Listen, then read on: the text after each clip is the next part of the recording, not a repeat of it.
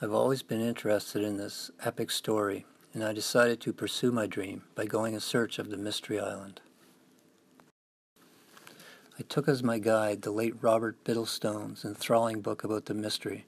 It's called Odysseus Unbound, and I set out for the Ionian Islands in the hope of meeting one of his former colleagues and learning more.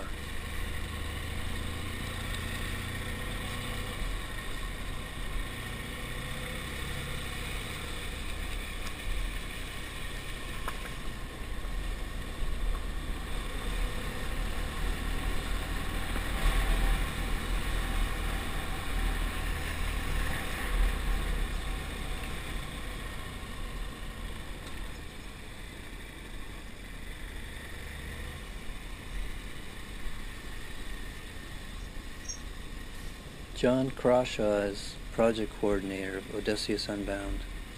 He's also a kindred spirit.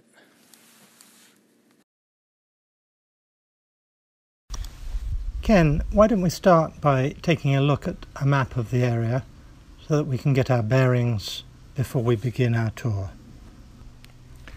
Here is Greece and to the left or the western side in the boxed area are the islands of Kephallonia and Ithaca.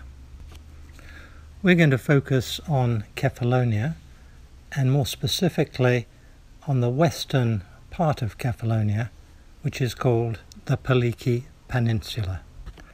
Our hypothesis suggests that the Paliki Peninsula was once separated from the rest of Kephallonia with a marine channel through the narrow neck of the isthmus.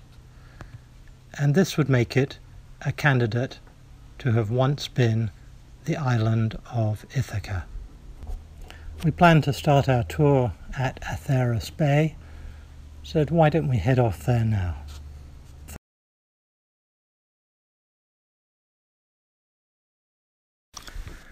This is a view looking down on Atheras Bay, and as you can see, it's a spectacular spot.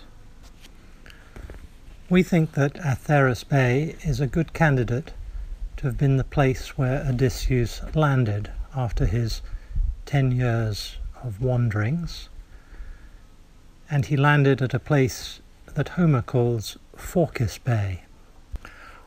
Phorcys Bay was protected by two headlands, and it made a very safe landing area where the seafarers could row their boat right up onto the sand.